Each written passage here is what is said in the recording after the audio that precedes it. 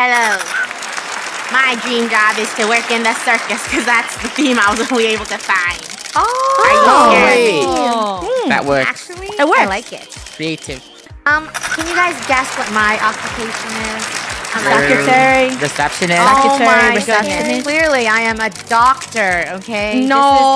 totally No. doctor You need the white coat. Three.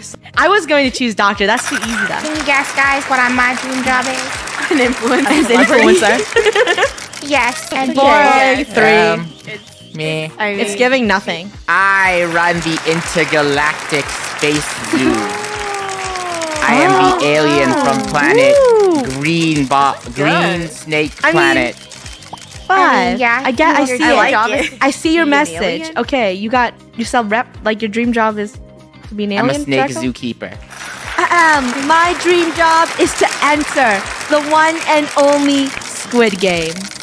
Wait, that's actually a good fit. Do you Thank really you. want to be part of Squid Game, Yes. Bunny? I don't know if And that's a I dream, will win though. because I have a cell phone.